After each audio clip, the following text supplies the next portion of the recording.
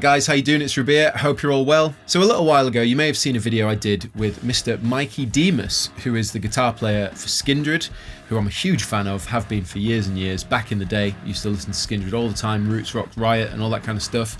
And uh, write similar kind of stuff in the band Chasing Jade back in the day. So it's kind of weird that I could consider Mikey a mate now. He's come over, shot videos together and hung out, so it's pretty mental. In any case, you may have seen that video that I did with Mikey talking about his brand new pedal company called Redbeard Effects. And we were looking at the first offering, which was the Red Mist distortion, which was modeled after his sort of favorite type of distortion tones in a box. Firstly, the pedals look awesome, they sound really good, uh, and one of my favorite features is that when you buy one of their pedals, it comes in, this is so cool, it comes in a coffee bag. So you get this little Redbeard coffee bag that it comes in, which I just think is just genius packaging, really like that. Um, anyway, we checked out the Red Mist and I did a demo on my channel. And now we're leading up to NAMM Show 2020. And he got in touch and said, Hey man, I got a new pedal. You want to try it out? Uh, of course, you know, firstly, because he's a mate. Secondly, I like the pedals. I like the way they look. I like the brand. So I thought, yeah, I'll give it a go. And the best bit is that turns out to be uh, a brand new pedal called the Honey Badger and it's an octave fuzz. So if you know anything about me and my channel and the kind of tones I like, I love fuzz, I love octave. So the same, uh, the two sounds in one pedal, I was like, what's not to like about that? Definitely over trying it out. So today we're looking at the brand new Redbeard Effects Honey Badger. As you can see on the close-up, follows the same footprint as a Red Mist, sort of similar layout completely, um, but of course this is a fuzz and an octave. From top left, uh, we've got volume, then we've got something called divide, and then octave. I'll tell you what those do in a minute. And then along the bottom, you've got treble, bass, and fuzz. You've got two switches, one to engage the effect, one to engage the octave. First things first, the type of fuzz to my ear is your kind of germanium slash fuzz face, like intense, kind of awesome, great for lead, all that kind of stuff. Super, just balls out, you know, sounds like the speaker's breaking. So I love that. But the octave, basically, you've got control of the blend of the octave highlighted top right, you should be able to see that. Um, now that obviously blends in the amount of octave in the signal provided you've engaged it. The divide uh, control essentially moves between two different types of octave mode. So in the pedal, in the Honey Badger, you've got minus four octaves, which is mental low, and then you've got minus two octaves. So the divide at 12 o'clock is kind of a bit of both. All the way to the left is minus four octaves, and all the way to the right is minus two. So you're basically getting tons of sub-octave uh, information in there, which is firstly going to sound really intense, especially with the fuzz. Uh, it'll work and the tracking will probably be clearer higher up the neck you play because it's such a low amount of octave to add to the signal. Either way, there'll be tons of cool sounds you can get out of this. My uh, assumption is this is going to be balls to the wall, erratic, intense noise in a good way want to get stuck in, I'm going to be using my VX100 on a light, tiny bit of crunch, running into the Universal Audio OX box, captured with the Universal Audio Apollo X8P, Logic. Let's check it out. Okay, so I've got my Fender Custom Shop Double Esquire Special, in other words, Telly, uh, running straight into the VX on a, on a crunch, and yeah, the, any reverb you hear is the plate reverb coming from the OX box. So this is what we've got.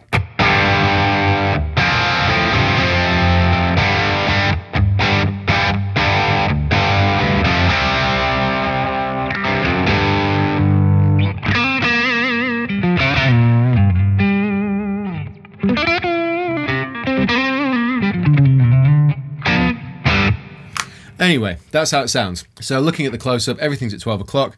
So I'm just going to go ahead and have a listen. Here we go.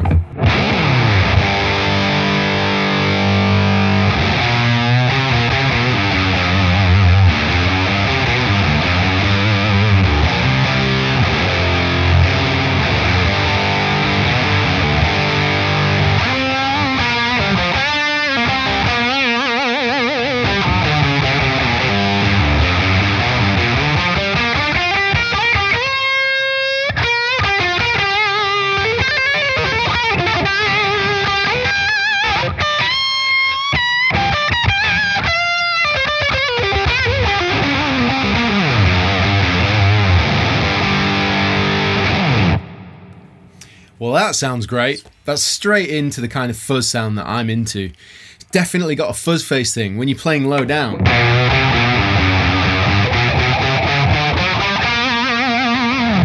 Oh, that's just awesome. And that's everything at 12 o'clock. So let's try the EQ.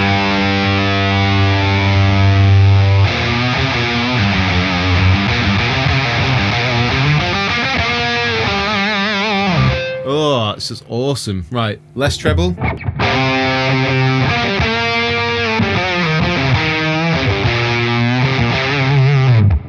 I'd say that's still usable.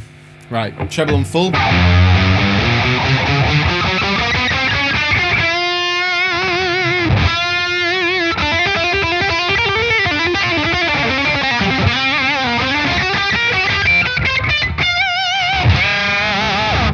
Awesome. Okay. Low end.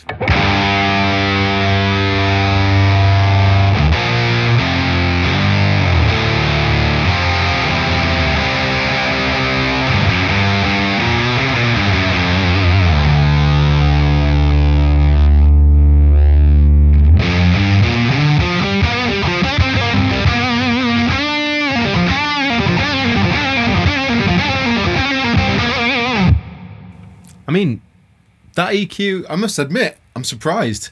Not because I didn't think it'd do it, but like, you know, turning it all the way up and down, still usable sounds, different flavors. So, hats off to that. Well tuned EQ. Fuzz, obviously that controls the amount of fuzz. So let's back it off first, see if we can get a bit of a silicon Velcro vibe going on. Okay, so all the way off, you still got a fuzz vibe. We'll take it out. Back in. But obviously, obviously it's designed to just get mental from there. So three quart.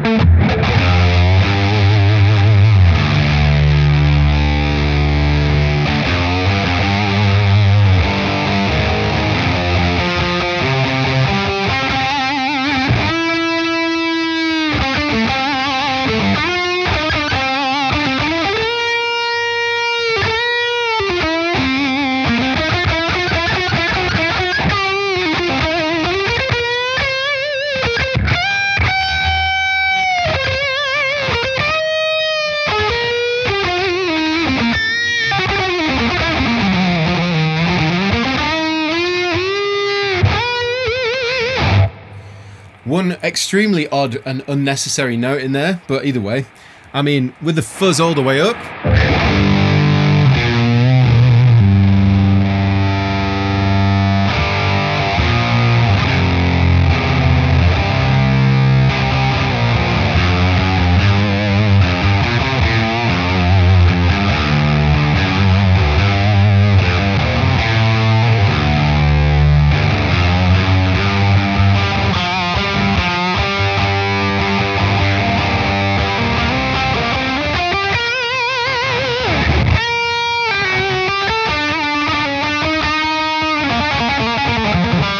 So that was everything in terms of EQ and fuzz. Obviously, volume controls the overall level. Of course, in front of a crunch, it's just going to push harder. So uh, let's try that.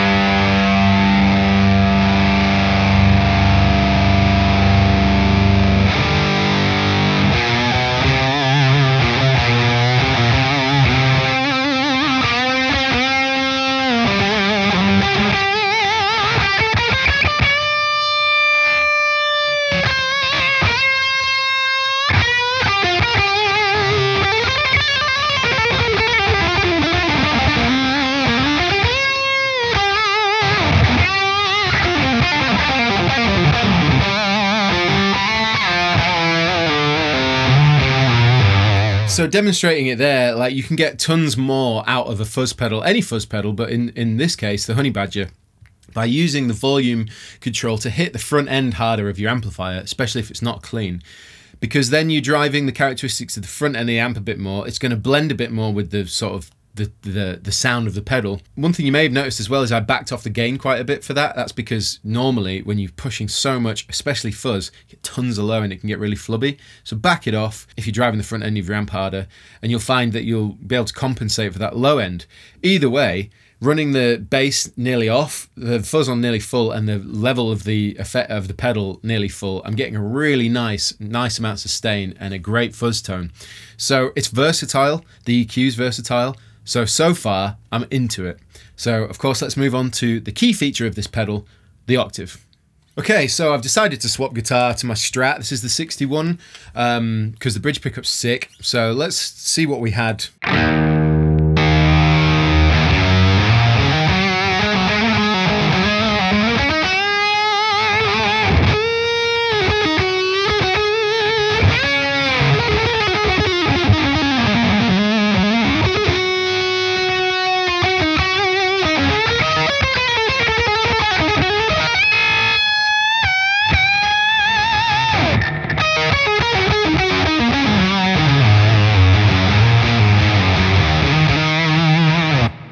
Sounds wicked.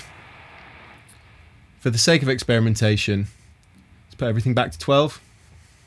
So, Strat, crunch with the fuzz engaged. Sounds disgustingly good. Now, let's throw on the octave. So this is octave blend at halfway and the divide control at halfway, meaning it's a bit of both. It's a bit of uh, minus four and minus two.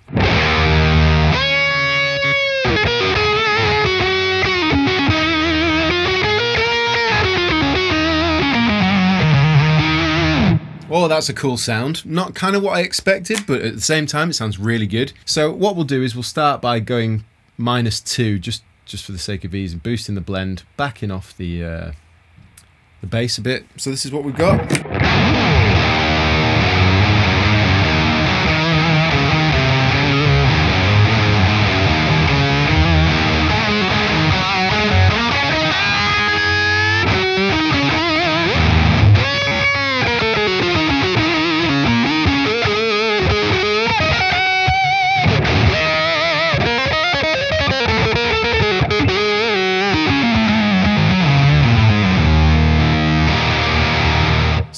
Clearly hear the octaves working there. The tracking is interesting, I'd say, because it's a fuzz and an octave built in. Like, I'm not sure the order of which way it works, but you can hear it dropping in and out with the tracking. That's being said, I'm not sure if it's necessarily aimed for that kind of perfect tracking. I mean, speaking to Mikey, he was talking more about it just being a crazy sounding pedal. The thing I like is when you're playing up in the higher register, you get these like supportive notes with the octave, which I think sounds really cool, and it would work obviously for fat riffs. So let's bunch it up. I'm gonna bring it down. This is the lower two octave, lower four octave.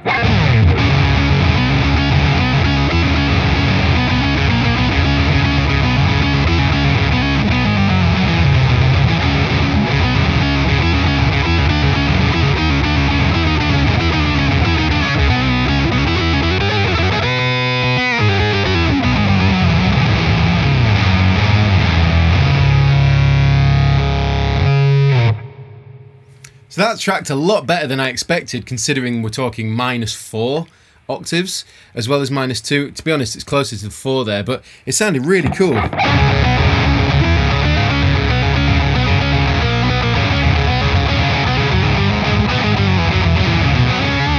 It's kind of got this cool synthy effect going on, a bit Mogi kind of thing. Let's just, for the sake of it, just go mental.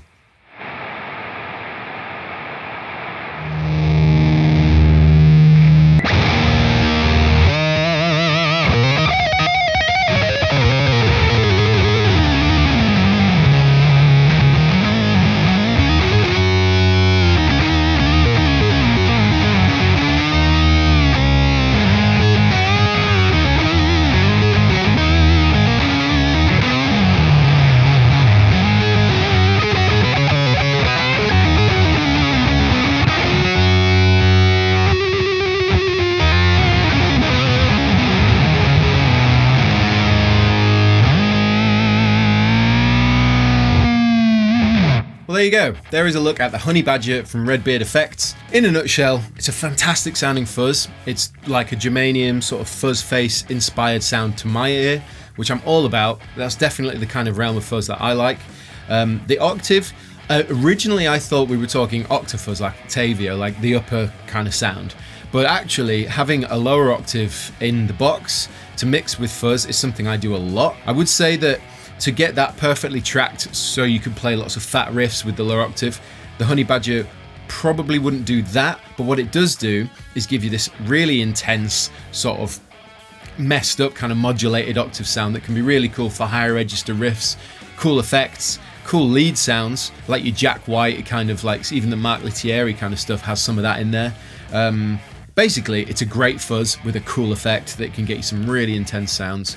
So if that's the kind of thing you're into and that's the kind of thing you're up for and you like the sound of this pedal, then I'll put a link in the description box below and you can check it out for yourself. But yeah, thank you very much to Redbeard Effects for sending this over. Thank you, Mikey, um, for asking me to do this.